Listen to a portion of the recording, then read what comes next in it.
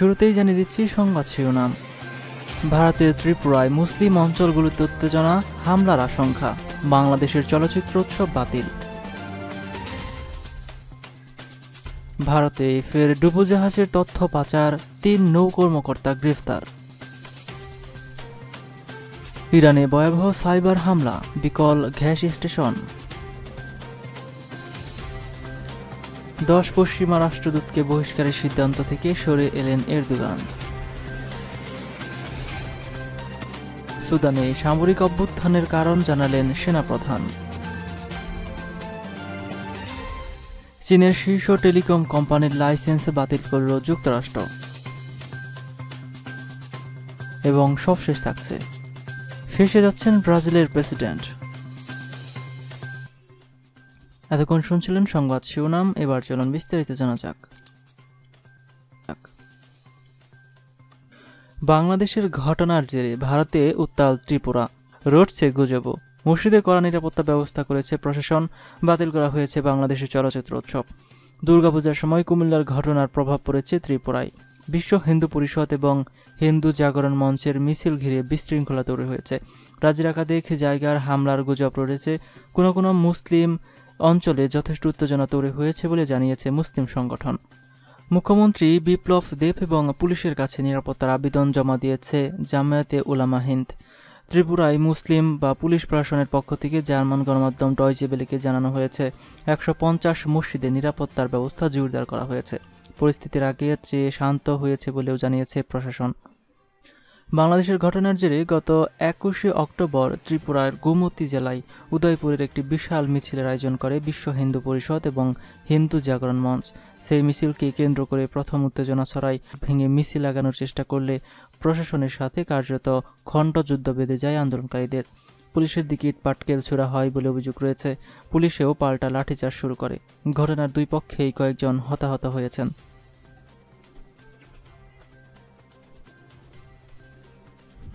ভারতের নৌবাহিনীর ডুবোজাহাজ আধুনিকীকরণের প্রকল্পে গুরুত্বপূর্ণ তথ্য পাচার চক্রের সন্ধান পেয়েছে বলে জানিয়েছে দেশটির Central Bureau of Investigation, CBI. এই চক্রের সাথে জড়িত তিন নৌ কর্মকর্তা গ্রেফতার করা হয়েছে। গ্রেফতাররা হলেন একজন নৌবাহিনীর কমান্ডার এবং দুজন সাবেক নৌ কর্মকর্তা।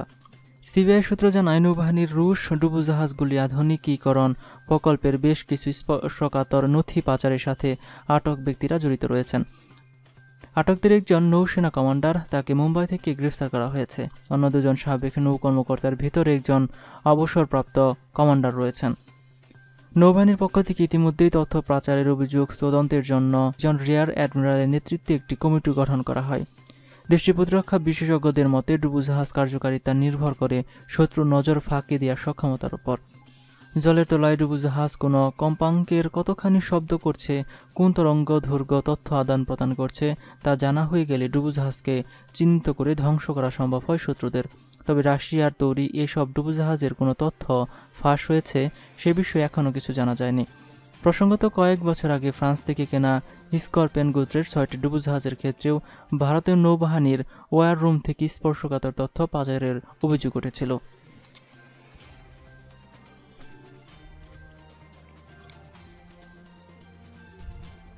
ইরানে মারাত্মক সাইবার হামলা হয়েছে। মঙ্গলবার ইরানি কর্তৃপক্ষের পক্ষ থেকে বলা হয়েছে, এই সব মারাত্মক সাইবার হামলায় ইরানের গ্যাস স্টেশনগুলো বিকল হয়ে গেছে এবং দেশটির জ্বালানিতে সরবরাহ বন্ধ রয়েছে। এখনও কোনো সংগঠন এই সাইবার হামলার দায় নেয়নি।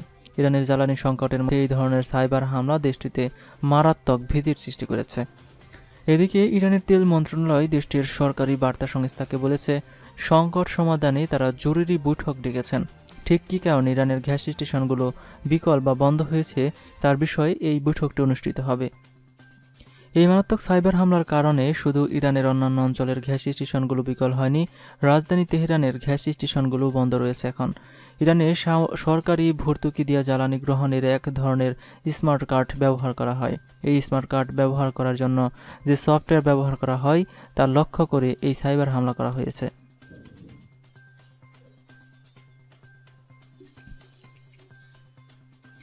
তুরস্কের প্রেসিডেন্ট রিসেপ তাইপের এরদোগান তার দেশে নিযুক্ত দশটি পশ্চিমা দেশের রাষ্ট্রদূতকে বহিষ্কারের সিদ্ধান্ত থেকে সরে এসেছেন।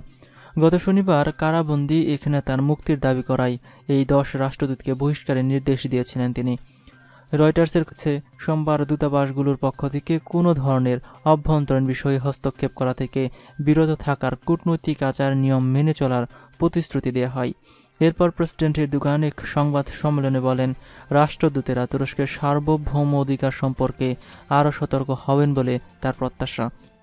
টেলিভিশনে সম্প্রচারিত বক্তৃতায় এরদোগান বলেন, দূতাবাসগুলোর পক্ষ থেকে নতুন একটি বিবৃতিতে আমাদের দেশ এবং জাতির বিরুদ্ধে এমন অপবাদ দেওয়া থেকে পিছিয়ে যাওয়ার কথা বলা হয়েছে।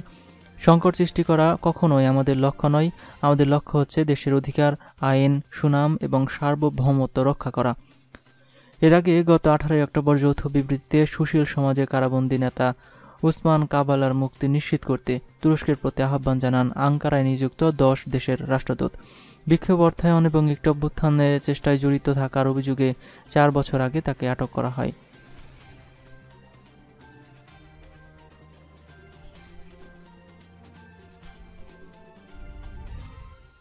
সুদানের শীর্ষ জেনারেল আব্দুল ফাত্তাহ বুরহান জানিয়েছেন প্রধানমন্ত্রী আবদাল্লাহ হামদাক তার বাসায় রয়েছেন। সুদানের সেনাবাহিনী দেশটির প্রধানমন্ত্রী আবদাল্লাহ হামদাকে গৃহবন্দী করে রাখা পরের দিন দেশটির শীর্ষ জেনারেল এক সংবাদ সম্মেলনে এই তথ্য জানালেন। সাংবাদিকদের এক প্রশ্নের জবাবে জেনারেল আব্দুল ফাত্তাহ বুরহান বলেন হ্যাঁ আমরা মন্ত্রী এবং রাজনৈতিক নেতাদের বন্দী করেছি, তবে সবাইকে না এ সময় তিনি জানান, প্রধানমন্ত্রী হামদাক তার বাসায় রয়েছেন এবং ভালো আছেন। অস্থির অবস্থা চলে গেলে চলে যাওয়ার পর প্রধানমন্ত্রী ফিরবেন বলেও জানান তিনি।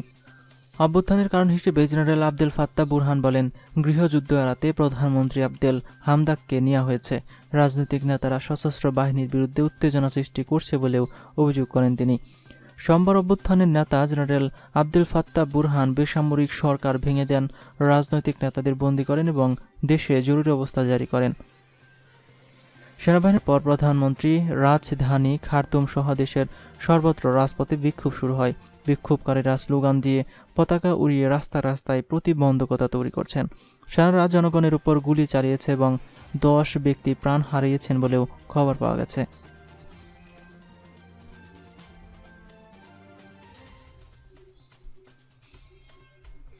জাতীয় নিরাপত্তার কথা জানিয়ে চীনের অন্যতম বৃহৎ একটি টেলিযোগাযোগ কোম্পানি চায়না টেলিকমের লাইসেন্স বাতিল করে দিয়েছে যুক্তরাষ্ট্র। ফলে আগামী ষাট দিনের মধ্যে যুক্তরাষ্ট্র সব ধরনের কার্যক্রম বন্ধ করতে হবে চায়না টেলিকমকে। মার্কিন কর্মকর্তারা বলছেন, এই কোম্পানির ওপর চীনের সরকারের নিয়ন্ত্রণের কারণে যুক্তরাষ্ট্রের যোগাযোগ ব্যবস্থা, তাদের প্রবেশ তথ্য মজুত করা, বিঘ্ন তৈরি করা বা ভুলভাবে চালানোর সুযোগ থেকে যায়।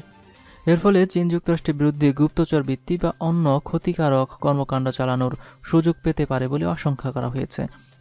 যুক্তরাষ্ট্র গত প্রায় ২০ বছর যোগাযোগ সেবা দিয়ে আসা চায়না টেলিকম এই সিদ্ধান্তকে হতাশজনক বলে বর্ণনা করেছেন। একটি বিবৃতিতে বলা হয়েছে, গ্রাহক সেবা নিশ্চিত করার জন্য আমরা সম্ভাব্য সব বিকল্প অনুসরণের পরিকল্পনা করছি। চীনের টেলিযোগাযোগ খাতে যে তিনটি কোম্পানি প্রাধান্য রয়েছে, তাদের একটি হচ্ছে চায়না টেলিকম। এই কোম্পানিটি একশো দশটি দেশে কোটি কোটি গ্রাহককে সেবা দিয়ে থাকে। ব্রডব্যান্ড ইন্টারনেট থেকে শুরু করে মোবাইল এবং ল্যান্ডলাইন টেলিফোন নেটওয়ার্কে এই কোম্পানি সেবা দিয়ে থাকে।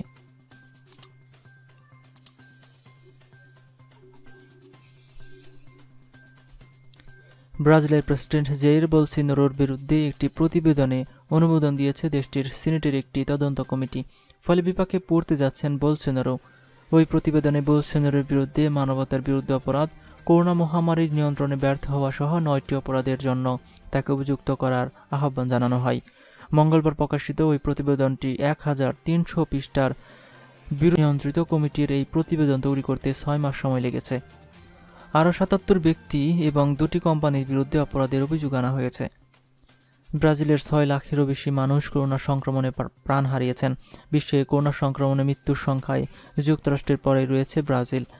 করোনা মহামারী শুরুর থেকে প্রায় প্রাণঘাতী এই ভাইরাসের বিষয়ে উদাসীন ছিলেন বলসেনেরও দেশ জুড়ে সামাজিক দূরত্ব, বিধিনিষেধ এবং মাস্ক পরারও বিরোধী ছিলেন তিনি। নিজে করোনা আক্রান্ত হওয়ার পরও এই বিষয়ে কঠোর কোনো সিদ্ধান্ত গ্রহণ করেননি। এমনকি ভ্যাকসিনেরও বিরোধিতা করে আসছেন ব্রাজিলের এই প্রেসিডেন্ট। করোনাভাইরাস সম্পর্কে ভুল চিকিৎসা পদ্ধতি এবং ভুল তথ্য প্রকাশের অভিযোগ রয়েছে বলসিনের বিরুদ্ধে। আন্তর্জাতিক স্বাস্থ্যবিধি অমান্য করে তাকে জনসমাবেশে মাস্ক ছাড়াই অংশ নিতে দেখা গেছে। এসব নিয়ে ব্যাপক সমালোচনা হলেও নিজের জায়গায় অনর ছিলেন তিনি। আজকের মতো এই পর্যন্তই ছিল। ভিডিওটি সম্পর্কে আপনাদের মতামত অবশ্যই কমেন্ট বক্সে কমেন্ট করে জানাবেন। সর্বশেষ নিউজ শোয়ার আগে দেখতে আমাদের চ্যানেলটি সাবস্ক্রাইব করে পাশে থাকা বেল আইকনটিতে ক্লিক করে রাখুন। এতক্ষণ সাথে থাকার জন্য ধন্যবাদ সবাইকে।